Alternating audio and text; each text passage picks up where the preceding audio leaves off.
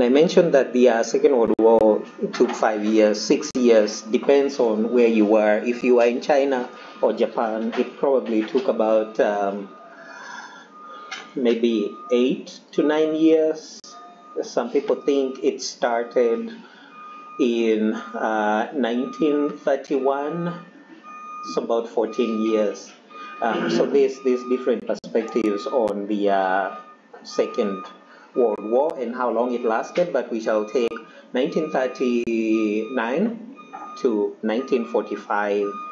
Um, so, and we mentioned that uh, the Second World War ended with the surrender of Japan with the nuclear uh, bombs that were dropped on Hiroshima and Nagasaki, which incidentally were not the most uh, destructive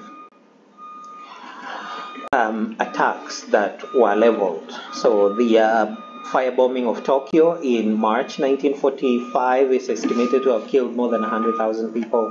Um, but war, the Second World War ends in 1945.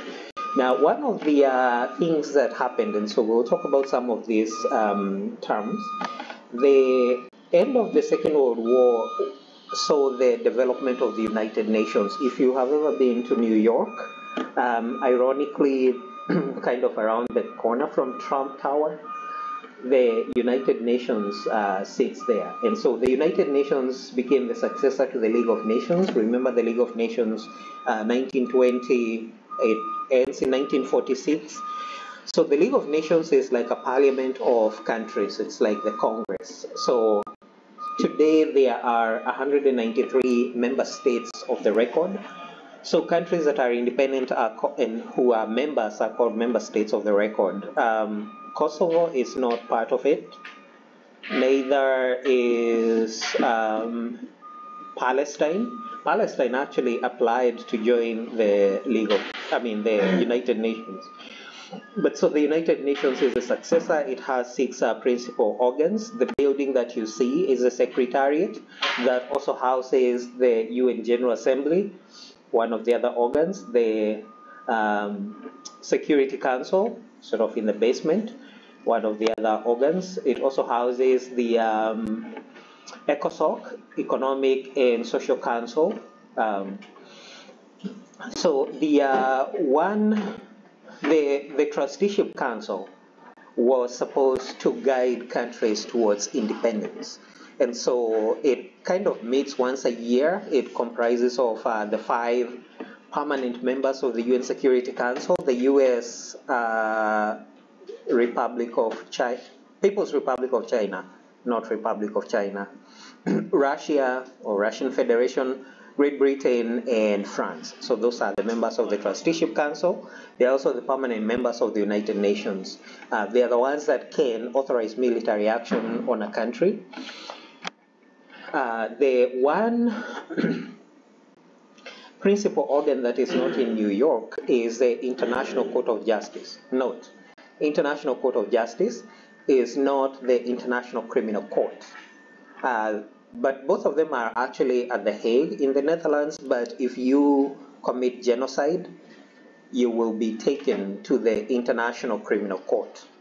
If a country commits a thing that looks like genocide, like what uh, Israel has been doing, in the words of South Africa, not my words, um, then the International Court of Justice can arbitrate between countries or the major um, organs of the United Nations. So, for example, um, I think it was UNICEF, maybe, that went to the ICJ to determine if the use of nuclear weapons is a good thing.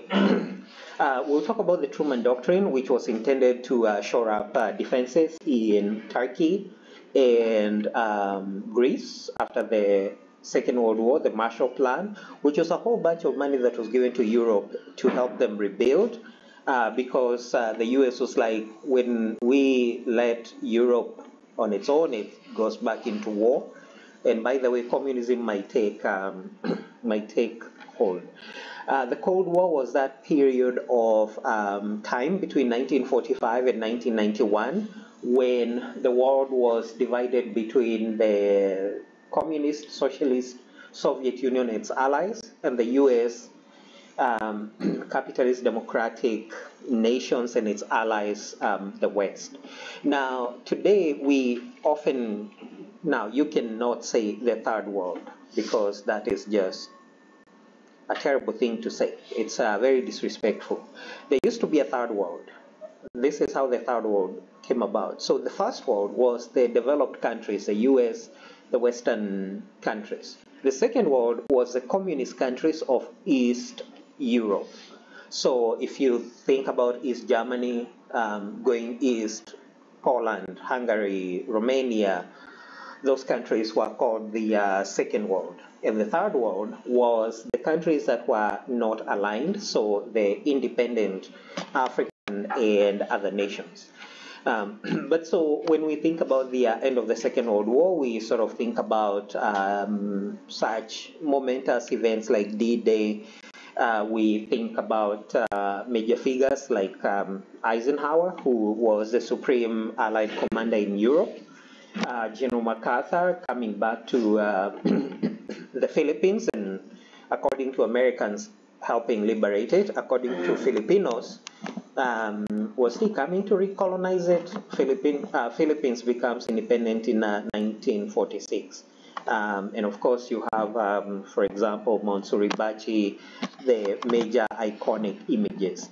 Now, so the end of the Second World War, we actually see not only the end of fascism, remember we talked about the three visions of modernity, one of which was uh, capitalism, democratic capitalism, so that continued.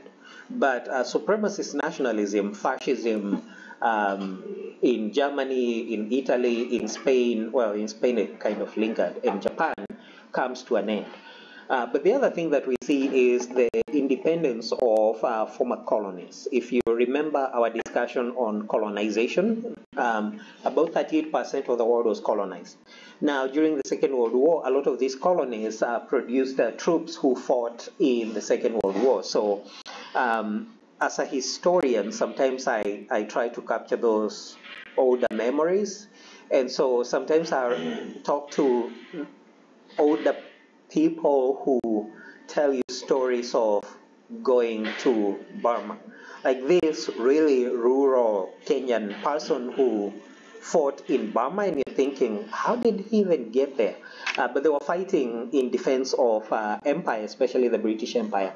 But what the British Empire did not know is that these people then demand independence. And so uh, Sri Lanka, for example, becomes one of the countries that become independent. India, uh, Vietnam, Indochina, and um, so on. But so we, we see the end of the Second World War, the beginning of the end of colonialism, even though colonialism doesn't end until about 1990, so it takes another. But most of the colonized countries were independent by about 1965. Um, and so we actually see the former colonies doing some important things like the uh, election of the first female prime minister in the world was in Sri Lanka. So Sri Lanka is, if you look at a map of India, Sri Lanka is um, towards the bottom of, um, and so this was a, a, new period of independence, of um, the end of the war of reconstruction, uh, but it's also helpful to maybe reflect back briefly on the um, end of the Second World War, so major loss of life. so the First World War was uh, sort of considered or cast as the war to end all wars. Clearly, that did not happen, and the Second World War actually had double the number of victims, so about uh, 60 million. Um, and so, a lot of widespread destruction, the start of the nuclear age, um, atomic weapons. And so the, the question of whether in future we would have nuclear war, we still grapple with that question um, but also the founding of the uh, United Nations. So in 1945, there were about 45 countries, actually 51, that signed the um, Charter of the United Nations. Today there are 193 countries, so clearly they have almost uh, quadrupled. So the end of the Second World War actually saw the end of the old Eurocentric world order. Um, and again, you can see uh, the total deaths 3 million civilians in Axis countries, uh, 35 million civilian deaths in allied countries. So, for example, a, a lot of these um, are in countries like Russia. So, we see about um, 27 million Russians dying. Um, the cost in materials in today's money was about 1 trillion.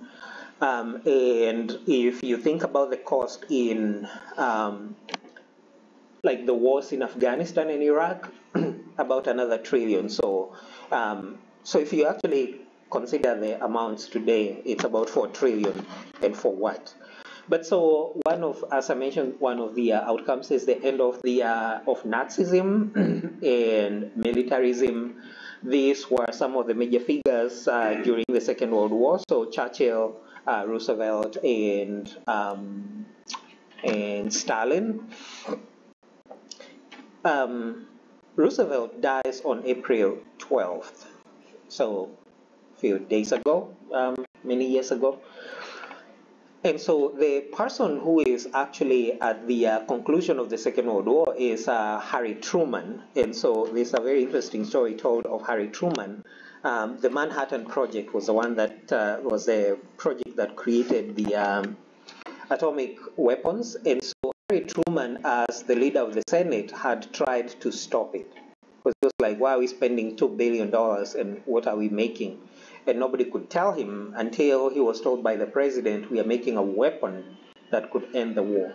But so this is um, Harry Truman in 1945 during the signing of the Charter of the United Nations. Um, and so the idea is to build a better world. Um, yeah, to build a better world in which war will